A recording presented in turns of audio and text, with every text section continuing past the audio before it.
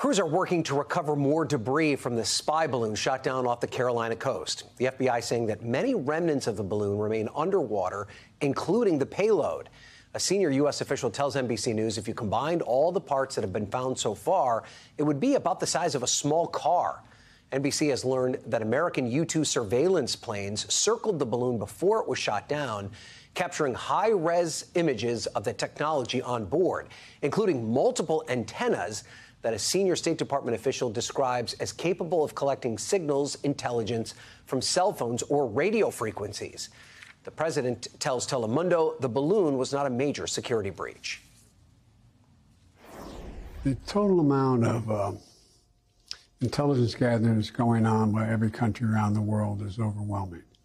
And the idea that a balloon could traverse, uh, break American airspace is. Uh, anyway, it's, it's not a major breach. I mean, look, it's totally it's a violation of international law. It's our airspace.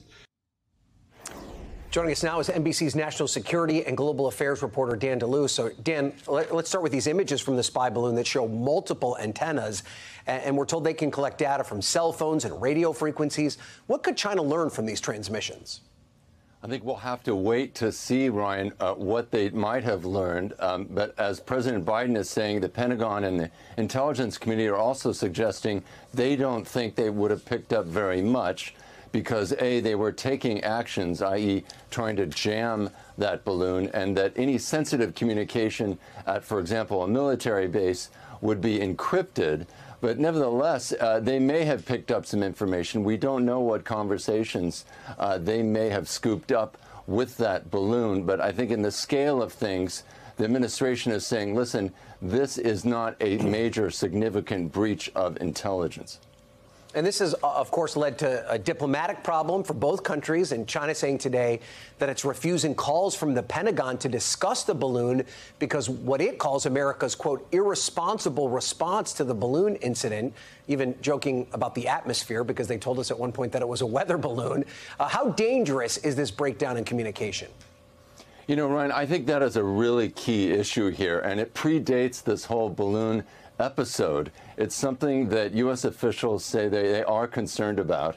And a lot of former ambassadors and a lot of former military officers will tell you this is the key, and it's really lacking. Even during the Cold War, we had communication channels with the Soviet Union, even at the height of the Cold War. And we don't have those kinds of channels open with the Chinese, and it's something that the Pentagon has asked for now for years. And it really is an issue here. And I think this balloon episode has really exposed that problem. So let's uh, talk about the Hill reaction yesterday. I was up there as lawmakers were grilling defense officials about why the U.S. didn't shoot down the balloon sooner. In that interview with uh, Telemundo, President Biden defended the decision to wait. Let's hear what he had to say. I said I wanted it shot down as soon as possible, and they were worried about the damage that could be done even in a big state like Montana. This thing was gigantic. What happened if it came down and hit a school? So there are lawmakers, Lisa Murkowski among them. Uh, she represents Alaska, angry the balloon wasn't shot down near Alaska before it really got into American airspace. Uh, what are military officials saying? You know, that issue of why it wasn't shot down earlier over the Pacific has not been directly addressed.